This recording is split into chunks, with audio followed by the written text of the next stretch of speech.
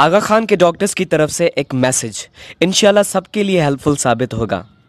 Corona virus उन लोगों को अटैक नहीं करता जिनका इम्यून सिस्टम स्ट्रांग होता है। चाइना क्यों मुतासर हुआ?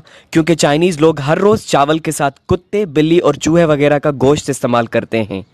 इटली क्यों मुतासर हुआ? क्योंकि इटली के लोग सिर्फ़ और सिर्फ़ पिज़्ज़ा खाते हैं।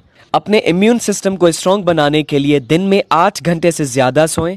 हर दो घंटे के बाद जूस या पानी का इस्तेमाल करें। जंक फ़ूड जैसे बर्गर सैंडविचेस वगैरह का इस्तेमाल ना करें। पल्सेस यानी दाल का इस्तेमाल करें। दूध और दही का इस्तेमाल करें, हर किस्म के आटे का इस्तेमाल करें, हर किस्म की सब्ज़ी जैसे गाजर, भिंडी, आलू, टमाटर, तोरी वगैरह का इस्तेमाल करें।